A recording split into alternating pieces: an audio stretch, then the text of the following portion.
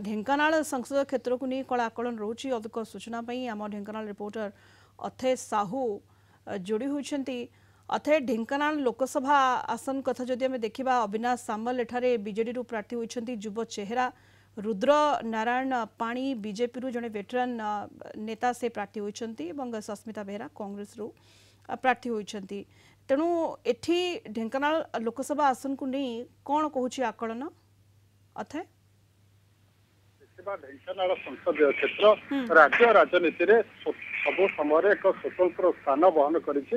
ଯଦି ପୂର୍ବରୁ ଦେଖିବା କଂଗ୍ରେସର ଯିଏକି ଭେଟରିଆନ ଲିଡର କାମାକ୍ଷା ପ୍ରସାଦ ସିଂହ ଅନେକ ଥର ବିଜୟ ହେଇ ମଧ୍ୟ କେନ୍ଦ୍ର ମନ୍ତ୍ରୀ ହୋଇଛନ୍ତି। ପରବର୍ତ୍ତୀ ସମୟରେ ବିଜେଡିର ଗଡ଼ ଭାବେ ଯିଏକି ସାଂସଦ ଭାବେ ତଥା ସପ୍ତରୀ ଚାରି ଚାରି ଥର ମଧ୍ୟ ବିଜେଡିରୁ ସାଂସଦ ଭାବେ ବିଜୟ ହୋଇଛନ୍ତି। ଯଦି ଦୁଇ ହଜାର ଚବିଶ ନିର୍ବାଚନ ଦେଖିବା ଏଠି ବିଜେଡି ତରଫରୁ ଯାହାକି ଯୁବ ନେତା ଡାକ୍ତର ଅବିନାଶ ସାମଲ ବିଜେଡି ଦଳର ପ୍ରାର୍ଥୀ ହୋଇଥିବା ବେଳେ ବିଜେପି ଦଳର ଭେଟରିଆନ ନେତା ରୁଦ୍ର ନାରାୟଣ ପାଣି ମଧ୍ୟ ସାଂସଦ ଭାବେ ପ୍ରାର୍ଥୀ ହୋଇଛନ୍ତି ଏବଂ କଂଗ୍ରେସରୁ ଯାହାକି ସୁତା ବେହେରା ମଧ୍ୟ ପ୍ରାର୍ଥୀ ହୋଇଛନ୍ତି। ତେବେ ଏଠି କଥା ଉଠୁଛି ଯେ ଢେଙ୍କାନାଳ ଲୋକସଭା ଆସନ ଚଳିତ ଦୁଇ ହଜାର ଚବିଶ ନିର୍ବାଚନରେ ଯଦି ଦେଖିବା ଏଠି ବିଜେଡି ବିଜେପି ଭିତରେ କଡା ଟକ୍କର ରହିଛି ଏବଂ ବିଜେପି ଯାହାକି ପରିବର୍ତ୍ତନର କଥା କହୁଥିବା ବେଳେ କେନ୍ଦ୍ର ସରକାରଙ୍କ ସଫଳର କଥା କହୁଥିବା ବେଳେ ବିଜେଡି ଯୋଉ ପ୍ରାର୍ଥୀ ରହିଛନ୍ତି ସେ ରାଜ୍ୟ ସରକାରଙ୍କର ବିଭିନ୍ନ ଉନ୍ନତିମୂଳକ କଥା କୁହନ୍ତୁ ବିଭିନ୍ନ ମଠ ମନ୍ଦିରର ଉନ୍ନତି କଥା କୁହନ୍ତୁ ଏହାକୁ ନେଇ ଭୋଟରଙ୍କ ପାଖକୁ ଯାଇଛି ଏବଂ ଉଭୟ ପ୍ରାର୍ଥୀ ନିଜ ନିଜ ସପକ୍ଷରେ ଭୋଟ ଦେବା ପାଇଁ ମଧ୍ୟ ବିଭିନ୍ନ ପ୍ରକାର ଲୋକଙ୍କୁ ପ୍ରଭାବିତ କରିଛନ୍ତି। ଏବଂ ଏଠି ମଧ୍ୟ କେନ୍ଦ୍ରୀୟ ସ୍ତରୀୟ ନେତା ବିଜେପି ପାଇଁ ପ୍ରଚାର କରିଥିବା ବେଳେ ମଧ୍ୟ ବିଜେଡିର ମଧ୍ୟ ମୁଖ୍ୟମନ୍ତ୍ରୀ କଥା ଅଥୟ ଗତଥର ଏଠୁ ବିଜେଡିରୁ ମହେଶ ସାହୁ ବିଜୟୀ ହୋଇଥିଲେ ଢେଙ୍କାନାଳ ସଂସଦ କ୍ଷେତ୍ରରୁ। ଏଥର ଅବିନାଶ ସାମଲଙ୍କୁ ଜଣେ ଯୁବ ଚେହେରାଙ୍କୁ ସାମ୍ନାକୁ ଆଣିଛି ବିଜେଡି ପ୍ରାର୍ଥୀ କରିଛି ରୁଦ୍ର ନାରାୟଣ ପାଣି ଏବଂ ଅବିନାଶ ସାମଲ। ବିଜେଡି ଏବଂ ବିଜେପି ଭିତରେ ଏଠି କଡ଼ା ଟକ୍କର ହେଉଛି। ତେଣୁ କାହା ପଲ୍ଲା ଭାରି ରହୁଛି? କେତେ ଫାଇଟ୍ ଦେଇପାରୁଛନ୍ତି ରୁଦ୍ରନାରାୟଣ ପାଣି ଅବିନାଶ ସାମଲକୁ କେତେ ଆମେ କହିପାରିବା କାଣ୍ଟେକା ଟକ୍କର ଏଠାରେ ହେଉଛି? ଅଥୟ? ନିଶ୍ଚିତ ଭାବେ ସୁନିତା ଆମେ କହିପାରିବା ଯଦି ଲୋକସଭା ଆସନ ଦେଖିବା ଗଲା ସଂସଦୀୟ କ୍ଷେତ୍ରରେ ଯିଏକି ମହେଶ ସଂସଦ ଥିଲେ ମାତ୍ର କୋଡ଼ିଏରୁ ତିରିଶ ହଜାର ବ୍ୟବଧାନରେ ବିଜୟ ଲାଭ କରିଥିଲେ। ଚଳିତ ନିର୍ବାଚନରେ ଯାହାକି ବିଜେଡି ଯିଏ ଅଛନ୍ତି ଡାକ୍ତର ଅବିନାଶ ସାମଲ ଏବଂ ବିଜେପିର ପ୍ରାର୍ଥୀ ଯିଏ ଅଛନ୍ତି ଭେଟରିଆନ ଲିଡର ରୂପନାରାୟଣ ପାଣିକ ଭିତରେ କଡା ଟକ୍କର ରହିଛି ଏଠି ଏଇ ଲୋକସଭା ଆସନରେ ସାତଟି ବିଧାନସଭା ରହିଛି ଢେଙ୍କାନାଳର ଚାରୋଟି ରହିଛି ଏବଂ ଅନୁଗୁଳ ଜିଲ୍ଲାର ତିନୋଟି ରହିଛି ଢେଙ୍କାନାଳ ଜିଲ୍ଲାର ଯଦି ଦେଖିବା ଏଠି ଢେଙ୍କାନାଳ ହିନ୍ଦୋଳ କାମାକ୍ଷାନଗର ପରଜଙ୍ଗ ଏବଂ ଅନୁଗୁଳ ଜିଲ୍ଲାର ରହିଛି ଅନୁଗୁଳ ତାଳଚେର ଏବଂ ପାଲହଡା। ତେଣୁ ସାତଟି ବିଧାନସଭା କ୍ଷେତ୍ର ନେଇ ଏ ଲୋକସଭା ଆସନ।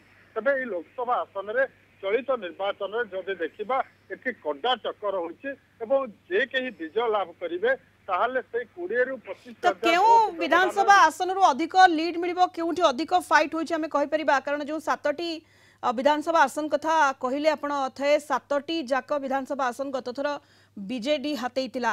ତେଣୁ ଏଥର କେଉଁ ବିଧାନସଭା ଆସନରେ ଅଧିକ ଟକ୍କର ହେବ?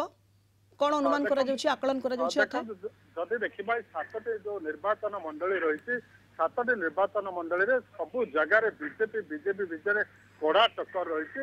ଏଭଳିକି ଯଦି ଦେଖିବା ତାହେଲେ ଅନୁଗୁଳ କଥା ଦେଖିବା। ଅନୁଗୁଳ ଯାହାକି ବିଜେପିର ଖୋଲା ଛାଡ଼ିଥିବା କଥା ବର୍ତ୍ତମାନ ଚର୍ଚ୍ଚା ହେଉଛି। ଏବଂ ଢେଙ୍କାନାଳ ନିର୍ବାଚନ ମଣ୍ଡଳୀ ଯଦି ଦେଖିବା ପର୍ଜଙ୍ଗରେ ମଧ୍ୟ ବିଜେପିର ପ୍ରାର୍ଥୀ ଯିଏ ଅଛନ୍ତି ବିଭୂତି ପ୍ରଧାନ ଏବଂ ଯିଏ ବିଜେଡି ଦଳର ଅଛନ୍ତି ନୃସିଂହ ଡକ୍ଟର ନୃସିଂହ ସାହୁ ତାଙ୍କ ଭିତରେ କଡା ଟକ୍କର ରହିଛି। ସେଠି ବିଭୂତି ପ୍ରଧାନ ଯିଏ ଅଛନ୍ତି ବିଜେପିର ପ୍ରାର୍ଥୀ ତାଙ୍କ କଲା ଭାରି ରହିଛି। ତେବେ ଏଠି କିଏ ବିଜୟ ହବ ଯାହାକି ଅଳ୍ପ ବ୍ୟବଧାନରେ ଭୋଟରେ ବିଜୟ ହେବେ ପର୍ଜଙ୍ଗ କଥା ଯଦି ଦେଖିବା ଗଲା ଦୁଇଟି ନିର୍ବାଚନରେ ଅଳ୍ପ ବ୍ୟବଧାନରେ ଡକ୍ଟର ନୃସିଂହ ସାହୁ ବିଜେଡିରୁ ବିଜୟ ଲାଭ ହୋଇଥିଲେ।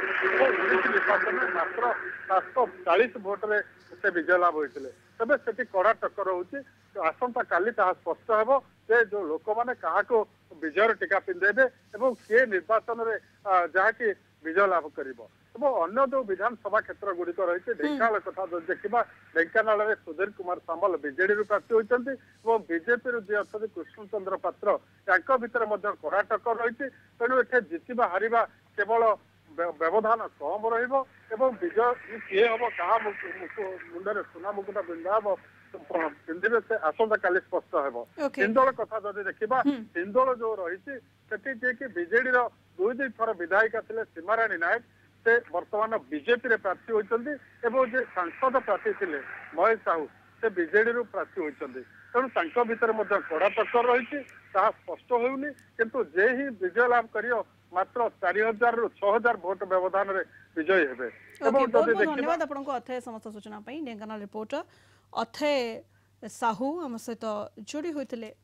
ଅଧିକ ସୂଚନା ଦେଉଥିଲେ ଢେଙ୍କାନାଳ ଲୋକସଭା ଆସନରେ ଢେଙ୍କାନାଳ ସଂସଦୀୟ କ୍ଷେତ୍ରରେ କିଭଳି ଲଢ଼େଇ ହେଉଛି କାହା ପଲ୍ଲା ଭାରି ରହିଛି ଏନେଇ କ'ଣ ଆକଳନ କହୁଛି ସେ ସମ୍ପର୍କରେ ଆମକୁ ସୂଚନା ଦେଉଥିଲେ। ବର୍ତ୍ତମାନ